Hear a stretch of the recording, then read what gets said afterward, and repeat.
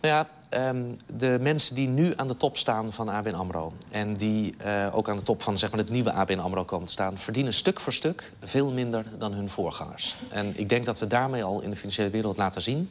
dat ondanks het feit dat dat nog steeds verschrikkelijk, verschrikkelijk hoge bedragen zijn... dat het mogelijk is om goede mensen eh, aan te trekken... voor minder geld dan die gigantische sommen waarvan altijd gezegd werd... dit moet je wel betalen om de allerbeste mensen te krijgen. Ten eerste moet je constateren dat ondanks het feit dat je die mensen destijds miljoenen betaalde... ze er toch een zootje van gemaakt hebben. Dus zo goed waren ze kennelijk niet. Ehm, en ten tweede moet je nu constateren dat het je lukt om goede mensen te krijgen voor aanmerkelijk minder. Dat vind ik winst.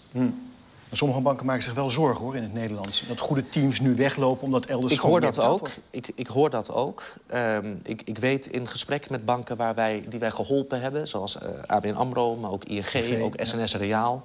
men is daar echt eh, tientallen procenten omlaag aan het gaan... in, in de beloning op het hoogste niveau. Eh, maar men kijkt met argwaan naar wat er op de internationale arbeidsmarkt gebeurt.